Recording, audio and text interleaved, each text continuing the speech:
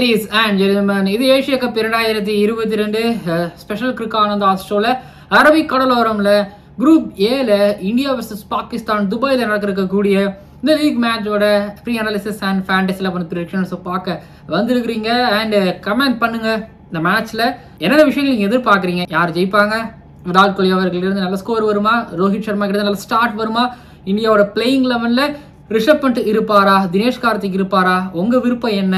அதுக்கப்புறம் அவேஷ்கானா அஸ்வினா அஸ்வின் எதனால் வேணும் அவேஷ்கானா எதனால் வேணாம் கீழே வந்து கமெண்ட் பண்ணுங்கள் பாகிஸ்தான் டீமோட பிளேயிங் லெவல் உங்களுக்கு அந்த பார்த்தீங்கன்னா நாலேஜ் இருந்தால் கீழே வந்து கமெண்ட் பண்ணுங்க. ஆல்ரெடி நம்ம ப்ரீ அனாலிசிஸ் ஸோ அவங்கள பத்தின பாகிஸ்தான் டீம் பத்தின ஒரு ஸ்குவாட் அனாலிசிஸ் பண்ணியிருந்தோம். அதை பார்த்துருந்தீங்கன்னா உங்களுக்கு ஓரளவு தெரியறதுக்கான சான்சஸ் இருக்குது ஸோ கீழே வந்து கமெண்ட் பண்ணலாம். அண்ட் இப்போது துபாய் துபாய் துபாய். அதாவது ஆப்கானிஸ்தான் வர்சஸ் ஸ்ரீலங்கா மேட்ச் அங்கே நடந்துச்சு. இதெல்லாம் பார்த்துட்டு உங்களுக்கு அஸ்வின் வேணுமா அவேஷ் கான் வேணுமா? இந்த பக்கம் இந்தியன் டீ இந்தியன் டீமை தாண்டி பாகிஸ்தான் டீம்ல யார் இருக்கலாம்? ஸோ கீழே வந்து கமெண்ட் பண்ணுங்க. அண்ட் இப்போ அடுத்ததா துபாய் மேட்சோட pitch report weather report and toss report பொறுத்த வரைக்குமே. ஸோ பனி கிடையாது நேற்று பார்த்துட்டோம். பனி கிடையாது. அதே போல் வந்து பிச்சை பொறுத்த வரைக்கும் ஸோ ஃப்ரெஷ் விக்கெட்டாக இருக்கும் பட்சத்தில்.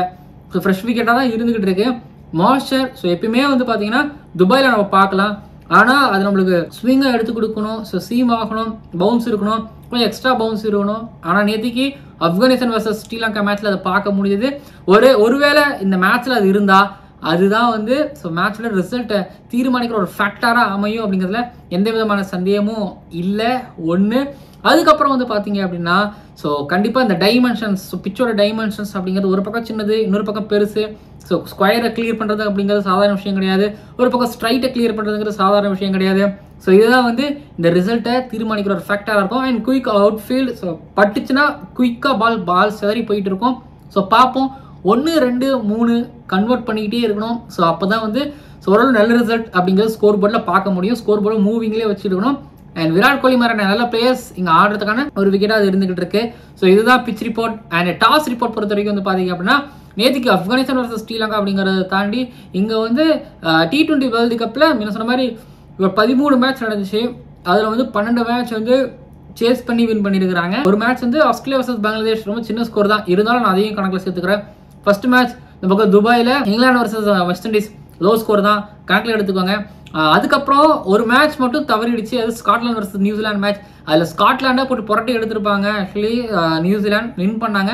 ஆனால் இங்கே மென்ஷன் பண்ண வேண்டிய விஷயம் என்னன்னா ஸ்லோ ஸ்கோரில் சுருட்டி வின் பண்ணியிருக்காங்கன்னா இப்போ ஃபர்ஸ்ட் இன்னிங்ஸில் எஃபெக்டிவாக இருந்திருக்கு. ஸோ சேசிங் போனோம். அண்ட் ஐபிஎல்லையுமே வந்து பார்த்தீங்கன்னா நிறைய மிக்ஸ்டான ஒரு ரிசல்ட் வந்துச்சு. ஆனால் விக்கெட் ஒரு வேலை ஃப்ரெஷ்ஷாக ஸ்விங்கோ பவுன்ஸோ மார்ஷெல்லாம் சு- செம்மையா சீம்லாம் கொடுத்துச்சுன்னு வச்சுங்களேன்.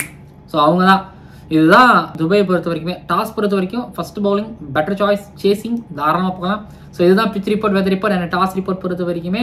And any team toss win பண்ணால் என்ன பண்ணலாம்? இதெல்லாம் வச்சு நீங்கள் என்ன பார்க்குறீங்க கீழே வந்து கமெண்ட் பண்ணுங்கள் ஸோ அடுத்ததாக வந்து இந்தியன் டீமோட பிளேயிங் லெவன் அண்ட் ஓவரால் ரெண்டு டீமோட உள்ளே வெளியே பிளேயிங் லெவனை பொறுத்த வரைக்கும் வந்து பார்த்தீங்கன்னா மேலே இந்தியாவை பொறுத்த வரைக்கும் பண்டா தினேஷ் கார்த்திகானா ஆப்வியஸ்லி பண்டா தான் வச்சுருப்பாங்க. லெஃப்ட் ஹேண்டராக ஒருத்தர் இருக்கிறாரு. எந்த பக்கம் வேணாலும் மூவ் பண்ணலாம். நம்பர் ஃபோர்லேயும் கொண்டு வரலாம். ஓப்பனராகவும் கொண்டு வரலாம். இது வரைக்கும் அப்படிதான் ரிஷப் பண்ட் அவரில் வந்து யூஸ் பண்ணிட்டு இருக்கிறாங்க. ஒரு ஸ்பெஷலிஸ்ட்டாக யூஸ் பண்ணிட்டு இருக்கிறாங்க. ஸோ அதே போல் டாப்பில் வந்து அவர் மட்டும் தான் ஒரு லெஃப்ட் ஹேண்டர் மிடில் ஆர்டர்லயும் சேர்க்கும் சேர்க்கும்போது அவர் தான் வந்து ஒரு லெஃப்ட் ஹேண்டராக இருந்துகிட்டு இருக்கிறாரு. அவரை விட்ட கீழே ஜடேஜா தான் இருந்துகிட்டு இருக்கிறாரு அப்படிங்கிறதுனால இந்தியன் டீம் லெஃப்ட் ஹேண்டரை வச்சிருக்கிறத வந்து கண்டிப்பாக யோசிப்பாங்க. ரிஷப் பண்ட் தான் இருப்பார். அதே நேரத்தில் கீழே பவுலிங்க்கு வந்துட்டீங்க அப்படின்னா ஆல்ரெடி பும்ரா இல்லை. ஷமி இல்லை. ஸோ இப்படி இருக்கிற நேரத்தில் புவனேஸ்வர் குமார் கூட வந்து ஒரு ரஷிதீப் சிங் கண்டிப்பாக அனுப்புவாங்க.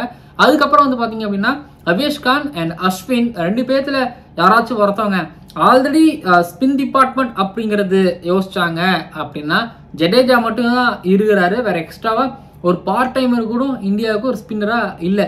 ஸோ ஜடேஜா சஹல் ரெண்டு பேர் தான் இருக்கிறாங்க. தாண்டி இதுவே போதுமா அப்படின்னு யோசிச்சாங்க அப்படின்னா ஸோ கீழே அவேஷ் கானுக்கு போவாங்க. இல்லை போதாதுன்னா அஸ்வினுக்கு போவாங்க. பட் என்னை பொறுத்த வரைக்கும் அங்கே லெஃப்ட் ஹேண்டர்ஸ் இருக்கிறாங்க. ஒரு ஃபகர் ஜமான் இருக்கிறாரு. நமக்கு குஷ்னில் ஷா இருக்கிறாங்க. ஸோ இந்த மாதிரி லெஃப்ட் ஹேண்டர்ஸ் கொஞ்சம் இருக்கிறாங்கிறதுனாலே பாபர் அடிச்சுவார் ஸ்பின்னு பட் அப்படி பார்க்கும்போது அஸ்வின் தேவைப்படலாம். பட் அந்த ரெண்டு விக்கெட்டுக்காக அப்படி யோசிக்கணுமானா ஸோ அதுவும் வரும். ஸோ பட் அவேஷ் கானுக்கு இங்கே நல்லா பவுன்ஸும் கொஞ்சம் சீம் ஆகுங்கிறதுனால அவேஷ் கானை இங்கே மேபி ட்ரை பண்ணி பார்ப்பாங்க. ஐ திங்க் ஒரு மேட்ச் அவேஷ் இங்கே தான் அடிப்பாருன்னு நினைக்கிறேன். கேஎஸ் பரத் ஞாமா. இங்கே தான் அடித்து வின் பண்ண வர ஒரு த்ரில்லரில் ஞாபகம் இருக்குது ரெண்டாயிரத்தி இருபத்தொன்று லீக் மேட்சில் கடைசி போட்டி அது. ஞாபகம் இருக்குது அண்ட் இது ஒன்று இருக்குது அடுத்ததாக பாகிஸ்தானோட பிளேயிங் லெவன் பாகிஸ்தானோட பிளேயிங் லெவனை பொறுத்த வரைக்கும் வந்து பார்த்தீங்க அப்படின்னா அவங்களுக்கு இந்த டாப் சிக்ஸ்லாம் எதுவும் பிரச்சனையே கிடையாது. ஆசிஃப் அலி எங்கே வர போகிறார் ஒன் டவுனா இல்லை நம்பர் ஃபோரா அப்படிங்கிறது. ஃபகர்தமான் ஒன் டவுனில் ஏன்னா டாப் த்ரீ இவங்க தான் அதிகமாக பால் ஃபேஸும் பண்ணியிருக்காங்க. இவங்க தான் நிறைய ரன் ஸ்கோரும் பண்ணியிருக்கிறாங்க. அண்ட் பாகிஸ்தானுக்காகங்கிறதுனால ஸோ இவங்க தான் ஆடவும் போகிறாங்க ஒன்று இவங்களுக்கு கீழே இப்போ என்னென்னா ஆல்ரெடி வந்து ஷகீர் ஷா அஃப்ரிடி அவர்கள் வந்து அவங்களுக்கு இல்லை. அதனால் வந்து பார்த்தீங்க அப்படின்னா யாராவது ஒருத்தர் ஆட் பண்ணி ஆடுங்கிறதுனால அவங்க வந்து அவங்க ஹசனைன் அதுக்கப்புறம் இப்போ நசீம் ஷா கடைசியாக தயானி ஹசன் அலி ஹாரிஸ் ரஃப் இந்த காம்போட தான் இப்போ வந்து நின்றுருக்குறாங்க. இதில் யார் அப்படின்னா ஹாரிஸ் ரஃப் பேஸுக்கு எடுத்துருவாங்க. நசீம் ஷா ரீசன்ட் பாஸ்ட் டைமில் நல்ல பேர் அவருக்கு இருந்துகிட்டு இருக்கு ஸோ ரெண்டு பேர். அதுக்கப்புறம் வந்து பார்த்தீங்கன்னா தானி அண்ட் ஹசன் அலி. ரெண்டு பேரில் யாராச்சும் ஒருத்தவங்க. அதனாலேயே அவங்க கன்சிடரே பண்ணல. அதுக்கப்புறம் முகமது வசீம் ஜூனியருக்கு வந்து இன்ஜுரி ஆனதுனால இந்த பக்கம் இவர் வந்து கொண்டு சேர்த்துருக்குறாங்க அப்படிங்கிறதுனால ஹசனலியை விட தேனிக்கு தானிக்கு போவாங்க. பட் தானியுமே பிஎஸ்எல்ல நல்ல ஒரு ஒரு நேம் வச்சிருக்கிறாரு அப்படிங்கிறது ஒன்று இருக்கு. ஹசன் அலி ஒரு எக்ஸ்பீரியன்ஸ்னு ஒன்று இருக்கு. பட் பார்ப்போம் என்னை பொறுத்த வரைக்கும் டேனியோடவே போவாங்களோ அப்படின்னு தோணுது. பட் ஹசன் அலிக்கு நம்ம அவ்வளோ பேசணும். பட் பார்ப்போம் ஹசன் அலி உள்ள சேர்க்குறாங்கன்னு ரெண்டு பேருமே ஒரே மாதிரிங்கிறத தாண்டி இப்போ அசனலி அலி வந்தாருன்னா கொஞ்சம் நியூ பாலில் கொஞ்சம் அவருக்கு ஒரு மாதிரி கை கொடுக்கலாம். பட் ஆல்ரெடி இங்கே வந்து நசீம் ஷா ஹாரிஸ் ரஃப்லாம் இருக்கிறாங்க ஆ மேலே வந்து பார்த்தீங்கன்னா நவாஸ் ஐ திங்க் முகமது நவாஸ் ஒரு லெஃப்ட் ஆர்ம் தேவையான ரெண்டு ரெஸ்ட் ஸ்பின்னரோட போக மாட்டாங்க அப்படிங்கிறதுனால வந்து சதப் கான் இருக்கிறாரு. இந்த பக்கம் நவாஸ் அப்படிங்கிற மாதிரி தான் போவாங்க. தேவைப்பட்ட குஷ்தில் குஷ்தில் ஷா வந்து மேபி ஓவர்ஸ் போடுவார். ஸோ இதுதான் வந்து அவங்களோட பிளேயிங் லெவன் பாகிஸ்தானோட பிளேயிங் லெவன் பொறுத்த வரைக்குமே. அடுத்ததா இங்க வந்து நேருக்கு நேர் பேட்டில் பொறுத்த வரைக்கும் இன்ட்ரெஸ்டிங்கான பேட்டில்ஸ் இங்க இருக்கு. எனக்கு ரொம்ப பிடிச்ச ஒரு செக்மெண்ட் இது நேருக்கு நேர் இது. என்னன்னா விக்கெட்ல பவுன்ஸும் சீம் ஸ்விங் இருக்குது. ஸோ டாஸ் வின் பண்ற டீம் ஃபர்ஸ்ட் பவுலிங் தான் எடுப்பாங்க. இப்போ இன்கேஸ் ரோஹித் சர்மா பேட் பண்றாருன்னு வைங்களேன். எப்படின்னா ரோஹித் சர்மா ஸோ ஒரு ஸ்கொயர் ஆஃப் த விக்கெட்ல நல்லா ஆடக்கூடிய ஒரு நல்ல ஸ்ட்ரைட் பேட் விடர் ஸ்கொயர் நிறைய போவார். கேஎல் ராகுலும் ஸ்கொயரை விட ஐ திங்க் அவர் நிறைய sky straight drive straight bat நிறைய விடுவார். விராட் கோலியும் நிறைய ஸ்ட்ரைட் பேட் விட்டு ஆடக்கூடியவர். ஸ்கொயராக அதாவது ஆஃப் சைடில் ஒரு ட்ரைவ் பொசிஷனுக்குலாம் போகக்கூடியவர். லைட்டாக கொஞ்சம் ஸ்கொயர் ஸ்கொயர் ஆவார். சூரியகுமார் யாதவ் ஒரு மாதிரி ஆக்கோடாக நிற்கிற கூடிய ஒரு பொசிஷன் ஓப்பன் பண்ணிலாம் ஆடக்கூடியவர். ஸோ இந்த டாப் எடுத்துக்கிட்டீங்க அப்படின்னா டாப்பில் இருக்கக்கூடியவங்களில் நசீம் ஷா இப்போ நசீம் ஷா எடுத்துக்கோங்க. நசீம் ஷா ஸ்ட்ரைட்டாக போடுவார். ஸ்பின்னுங்கிற தாட்டி அவர் பார்த்துட்டு அடிச்சாருன்னா சர்ரு நேராக போகும். நசீம் ஷா. அதுக்கப்புறம் ஹாரிஸ் ரஃப் ஸோ யார்கர் திடீர்னு போடுவார் அதுக்கப்புறம் ஸோ இல்லை நசீம் ஷா ஸ்விங் இருக்கும் but little little little moment இருக்கும். கொஞ்சம் சின்ன சின்ன ஸ்விங் இருக்கும். பெரிய பேய் ஸ்விங் இருக்காது. ஃபருகி கிட்ட பார்த்தா ஒரு ஒரு ஸ்விங் அவர்கிட்ட பார்க்க முடியாது பட் மேபி இருக்கலாம். ஹாரிஸ் ரஃப் அப்படி கிடையாது. பேஸும் இருக்கும் ஸ்விங்கும் இருக்கும். வேரியேஷன்ஸ் போடுவார் யார்கர் போடுவார். ஸோ ஹாரிஸ் ரஃப் ரொம்ப டேஞ்சர் பட் இதில் எனக்கு தெரிஞ்ச ஹாரிஸ் ரஃப் ரோஹித் சர்மாக்கு எந்த அளவுக்கு டேஞ்சர்னா வெளியில போகிற பால ரோஹித் சர்மா பேட்டை விட்டு அடிக்கும் போது இன்சைட் ஆகி ஆகுவார். அப்போனா ஸ்கைக்கு வாய்ப்பு இருக்குது அது தாண்டி கேஎல் ராகுலுக்கு ஒரு ஒரு சான்ஸ் இருக்குன்னு நினைக்கிறேன். பார்ப்போம். அதாங்க நீங்கள் ஷகின் ஷாஃபிடி இல்லைனாலுமே இந்த பாகிஸ்தான் டீமை குறைச்சி மதிப்பிட்ட கூடாது ஆனால் இந்தியன்ஸ் பொறுத்த வரைக்கும் இந்த பாகிஸ்தான் பவுலிங் அட்டாக் கொஞ்சம் சரி கொஞ்சம் கரெக்டாக ஃபேஸ் பண்ணுவாங்கன்னு நினைக்கிறேன். சிம்பிளான விஷயம் தாங்க. ஒவ்வொரு பாலுக்கு ஏற்ற மாதிரியான ஷால்ஸ் பொசிஷன் ஸோ கரெக்டாக ஒரு ஹெட் மூவ்மெண்ட் ஸோ பால் வந்து நேராக வருதா ஸ்விங் ஆகுதா? ஸோ ஸ்ட்ரைட் பேட் விட்டு டிஃபென்ஸ் டிஃபென்ஸ் டிஃபென்ஸ் அப்படி போயிட்டு திரும்பி ஏதாச்சும் ஒரு பால் ரைஸ் ஆகும்போது ஒரு புல் ஷாட் அது கோலியாக இருந்தாலும் சரி ரோஹிட்டாக இருந்தாலும் சரி. அப்புறம் சூரியகுமார் யாதவ் யாராக இருந்தாலும் சரி இதுக்கு போகணும். அதுக்கப்புறம் வந்து பார்த்தீங்கன்னா ரோஹித் சர்மா இருக்கிறாருங்கிறதுனால இந்த பக்கம் ஒருவேளை Nawaz left left arm left arm spinner ஒருத்தரை கொண்டு வருவாங்க அப்படின்னு கூட நினைக்கிறேன். சதப் கான் ஒன்று ரிஷப் பண்ட்டுக்கு மிகப்பெரிய ஒரு டேஞ்சராக இருப்பார். மேபி எனக்கு தெரிஞ்சு சதப் கான் வந்து ஒரு யுவராஜ் யுவராஜ் சிங் வந்து சாம்பியன்ஸ் ட்ராஃபி ஃபைனல் எடுத்ததும் ஞாபகம் இருக்குது ஆ இங்க துபாயில நடந்த மேட்ச் ஞாபகம் இருக்கா?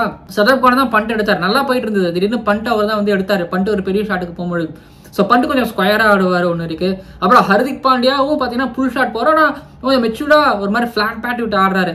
ஆனால் நசீம் ஷாவோட பேஸும் ஹாரிஸ் ரஃப் நசீம் ஷாவோட பேஸ் நல்லா ஒரு ஹை பேஸ் ப்ளஸ் நல்ல ஒரு லெங்த்தில் வருங்க மட்டும் அப்போ ஹர்திக் பாண்டியா எப்படி கிளவராக போக தெரில இப்போ கடைசி ஒரு தேர்ட்டின்னு ஒரு கடைசி ஒரு தேர்ட்டி பால் ஒரு ஒரு ஃபிஃப்டீன் பால் இருக்கும் பொழுது வந்து பார்த்தீங்கன்னா அப்போ அவசரப்பட்டு கண்டிப்பாக அடிச்சு தான் ஆகணும் போய் தான் ஆகணும் அப்படிங்கும்போது ஹர்திக் பாண்டே கரெக்டாக கிளியர் பண்ணணும். பட் பவுண்டரிங்கிறது ரொம்ப பெருசு. ஸோ இதுதான் வந்து கண்டிப்பாக பாகிஸ்தானுக்கு ஒரு ஆடர் அட்வான்டேஜாகவும் இருக்கும். இந்தியன்ஸ் இந்தியன்ஸை வந்து துபாயில் ஃபேஸ் பண்ணுறது ஒன்று இன்னொன்று வந்து பார்த்தீங்க அப்படின்னா ஃபீல்டர்ஸை வந்து செட் பண்ணுறதுல பாபரஸும் கொஞ்சம் கேர்ஃபுல்லாக இருக்கணும்.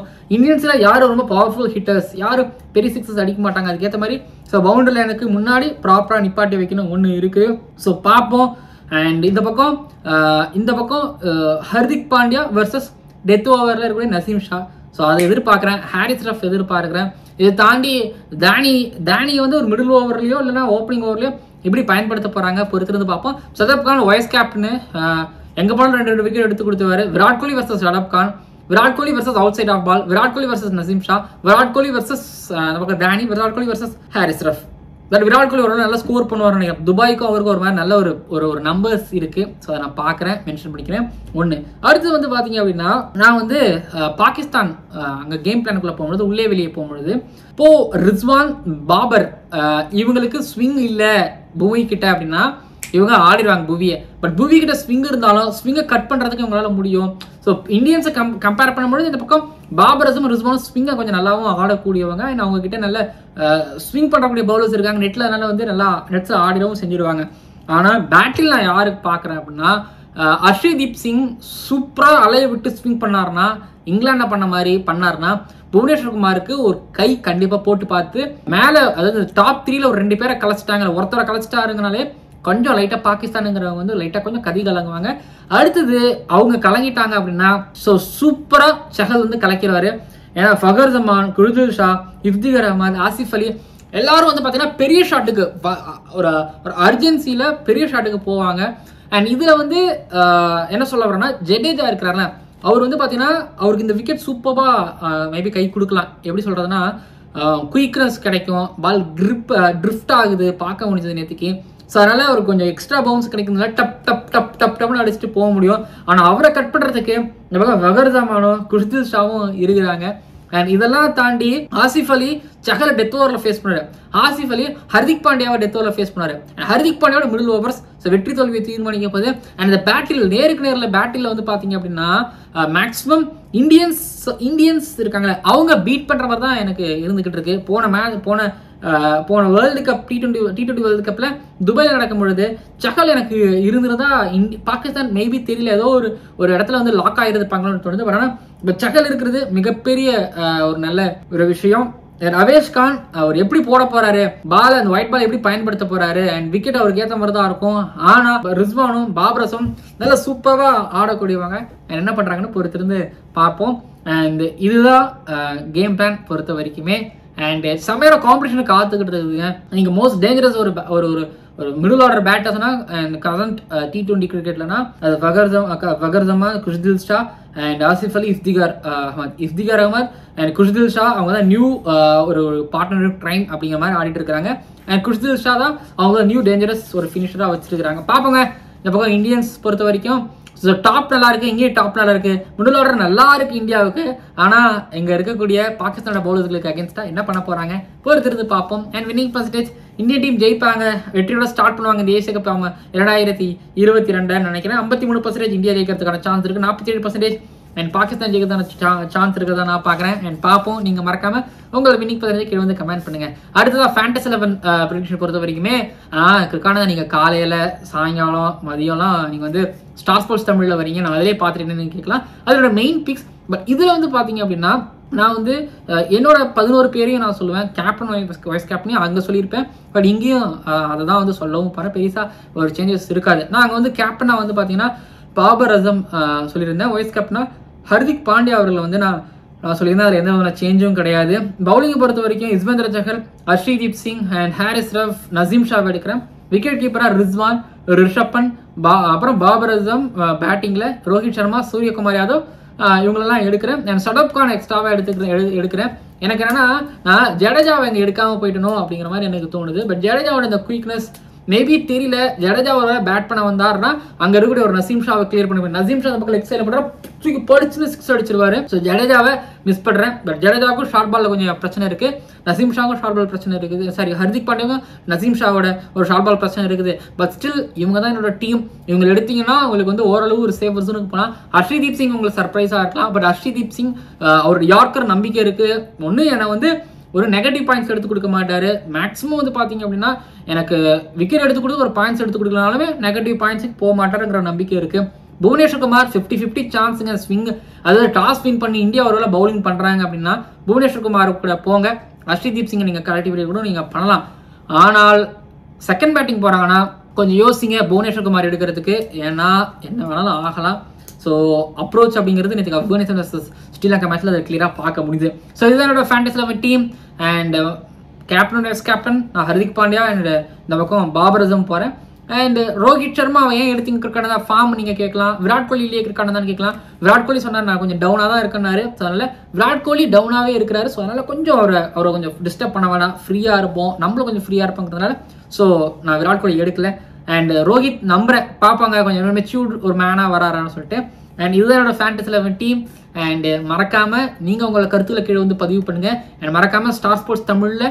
அண்ட் பார்த்துட்டு உங்களை ஃபீட்பேக்ஸ் ப்ளீஸ் நீங்கள் வந்து ஸ்டார் ஸ்போர்ட்ஸ் தமிழில். ஹேஷ்டாக் ஸ்டாரை கேளுங்கள்ல. உங்களை உங்களோட uh, கருத்துக்களை ப்ளீஸ் தயவு செஞ்சு தெரிவிங்க. அண்ட் அண்ட் நீங்கள் காலையில் எட்டு மணிக்கு அண்ட் அதுக்கப்புறம் சாயங்காலம் ஒரு மூணு மணிக்கு. அதுக்கப்புறம் சாயங்காலம் ஆறு மணிக்கு. சோவா பாருங்கள் அண்ட் ஒரு டென் மினிட்ஸ் வருவேன். அது ஒரு பெரிய விஷயம். பார்த்துட்டு உங்களை ஃபீட்பேக் கொடுங்க. அண்ட் நீங்கள் கொடுக்குற ஃபீட்பேக்ஸ் என்ன ஸ்டே பண்ண வைக்கும். அண்ட் ஸ்டார் ஸ்போர்ட்ஸ் தமிழில். அண்ட் நன்றி நன்றி நன்றி. அண்ட் அதே நேரத்தில் நீங்கள் கொடுக்குற சப்போர்ட் என்னை இன்னும் கொஞ்சம் நல்லா பண்ணவும் வைக்கும்.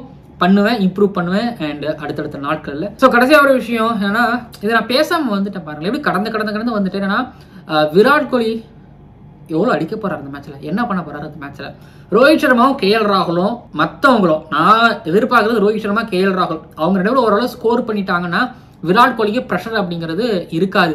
ஸோ அவருக்கு தனிப்பட்ட ஒரு ப்ரெஷர் இருக்கு. அதுக்கப்புறம் வந்து பார்த்தீங்கன்னா டீமுக்கு ஒரு ப்ரெஷர் இருக்குல்ல? அந்த டீம் ப்ரெஷரை தயவு செஞ்சு விராட் கோலி நீங்கள் இந்த மேட்ச்ல ஒரு தனி ஆள் டீம் கிடையாது. நீங்க தனியா நீங்க ஸ்கோர் பண்ணிக்கோங்க நாங்க தனியா ஸ்கோர் பண்ணிக்கிறோம் அப்படின்னு சொல்லிட்டு அவருக்கு அந்த ப்ரெஷரை கொடுக்காமலே இருந்தாங்கன்னா ரொம்ப நல்லா இருக்கும். நல்ல ஸ்டார்ட் எனக்கு கேஎல் ராகுல் விராட் கோலி கூட. சரி கேஎல் ராகுல் ரோஹித் கொடுத்துட்டாங்கன்னா விராட் கோலி ஸ்கோர் பண்ணிடுறாரு. இவங்க ஸ்கோர் அடிக்கலன்னா மறுபடியும் விராட் கோலி மேலே ப்ரெஷர் வரும். மறுபடியும் விராட் கோலி ப்ரெஷரில் என்ன வேணாலும் நடக்கலாம். ஸோ என்ன வேணாலும் நடக்கலாம்னு இல்லாமல் இங்கே சரியாக அடிச்சிட்டாங்கன்னா இங்கே நல்லதே நடக்கும். விராட் கோலி சொன்னார் கடந்த பத்து வருஷத்தில் முதல் முறையாக ஒரு மாதம் கூட கையில் பேட் எடுக்காமல் இப்போ தான் இருந்திருக்கிறேன்னு சொன்னார். பா பத்து வருஷம் பத்து வருஷம் பேட்டும் கையுமா சுற்றிட்டு இருந்தவர் இப்போ.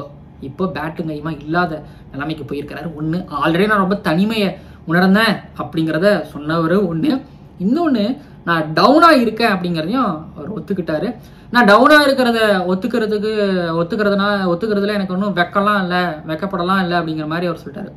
போல்டு அண்ட் பிரேவாக எப்பயும் பேசக்கூடிய அண்ட் டிரான்ஸ்பரண்ட்டாக இருக்கக்கூடிய விராட் கோலி இங்கேயும் அப்படி தான் பேசியிருக்காரு ஸோ விராட் கோலி கிட்டேருந்து ஒரு டிரான்ஸ்பரண்டான ஒரு புல்லட் ட்ரேசர் புல்லட் பதில்கள் தேவையில்லை. Tracer bullet rifle shots and cover drive இதுதான் எதிர்பார்க்கணும் அண்ட் அவர் மேலே இந்த காட்டுற அனுதாபங்கள் பாவங்கள் அது எனக்கு வைக்கிறது பிடிக்கவும் இல்லை.